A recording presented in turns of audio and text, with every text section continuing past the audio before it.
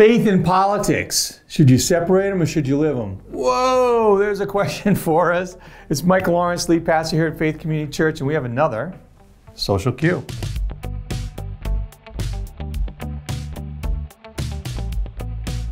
So I get this question often like, shouldn't I separate my faith from my politics? And honestly, I think it's impossible to separate your personal faith from your personal politics.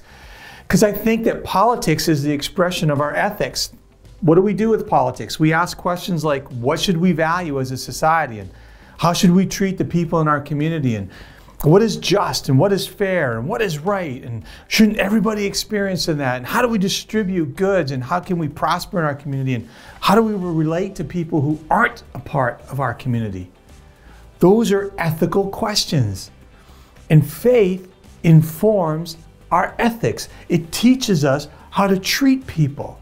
It's all over our scriptures. Here's just, just one example from the very beginning of the Bible. I'm going to read you a passage. It's out of what we call Genesis, the very first book. So God created human beings in his own image. In the image of God, he created them. Male and female, he created them. That's a statement about gender equality.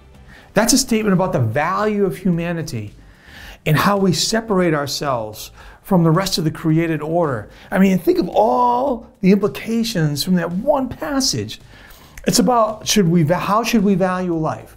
What are the laws around abortion, euthanasia, and, and how should we be engaged in people in improving the quality of their lives? It talks about laws around gender equality, right? This is, you know, women having the right to vote, this, the suffragist movement that's coming all the way up to laws in business about how we should treat our employees, to uh, how people should be treated in the justice system.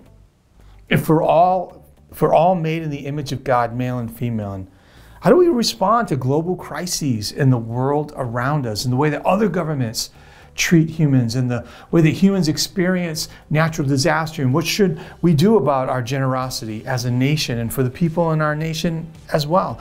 All these things are political ideas based on ethics that are informed by faith. Now here's an experiment. I bet you had assumptions about my views on all those categories, even though I didn't state them. Because you took my religious context into those into that discussion. And I bet if you thought about it carefully, the way you feel about it has some religious information behind it.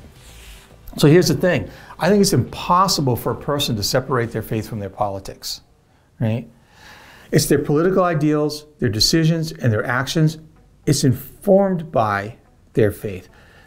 I think the struggle isn't should your faith inform your politics. I think the question is, or the struggle really is, is how does how do we express our political ideas, decisions, and actions through our faith? Because that's where I think Christians get into a lot of trouble, right?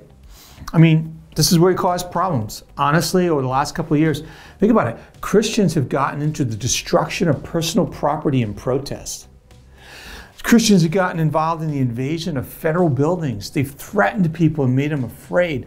Christians in social media, we berate we ridicule, we demean, we humiliate, and we attack people on social media because of our political ideals.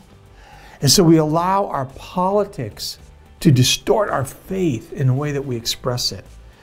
When we do that, here's the problem I think we compromise our character. I think we affect Christ's reputation because I think people look at Christianity, at Christ, at faith, at churches from the example of other people. And I'm really sorry for that because that's like a family getting into a fight at a food court in a mall. It's embarrassing and shameful. I really think faith should inform your politics. However, I don't think your political expression should compromise your Christian faith. That's the real challenge. And maybe we'll talk about that in another Social Q. Hey, you know what? If this was helpful, you could like this you can subscribe to our YouTube channel for more cues. You could put a question down below in the comment that we could address in the future. Honestly, these questions, you should really discuss these in a faith community like ours. That's what we call a faith community church. So honestly, pop over to our website, follow the link, and join our community.